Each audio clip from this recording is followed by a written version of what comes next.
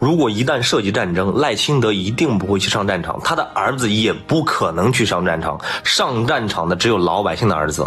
朱老先生早就说过了，台湾的选举是地方性选举，这就像已经分家的儿子，谁要当小家里的掌柜的，这是他们的家事儿，他们自己决定。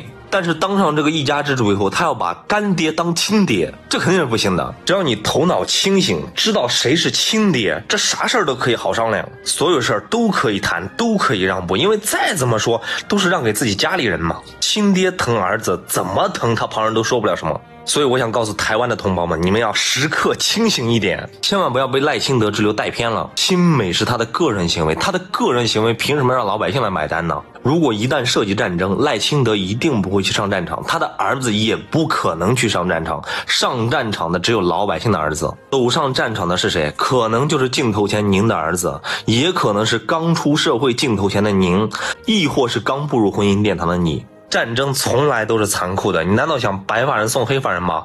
你难道想让嗷嗷待哺的孩子失去亲爹吗？还有刚步入社会的年轻人哈，你的人生才刚刚开始，大千世界很多新鲜的事物等着你去探索，难道你就甘愿为了赖清德之流的政治错误，把自己的生命搭上吗？所以各位台湾同胞，大家一定要清醒一点。还有哈，美国是狼子野心，他们在登陆美国的时候，美国的原住民是他们吗？不是的，是印第安人，大家还记得吗？你们妄想美国给你们疼爱吗？不可能的事儿。他们的目的非常的明确，就是想拿你们来做要挟，制衡我们的发展。如果你们对他们来说一旦失去价值，那么派上去的第一批敢死队哈，毫无疑问一定是你们。道理很简单呀，因为他们不是亲爹，他们不会心疼。还有哈，你们不要把他们想的有多么的强大。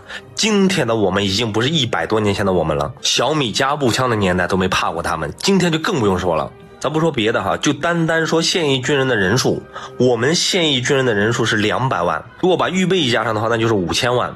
那除了五千万之外呢，我们还有十三亿五千万的中华儿女呢当靠山。任何人妄想着欺负我们的同胞，侵犯我们的领土，我们十四亿人绝不答应。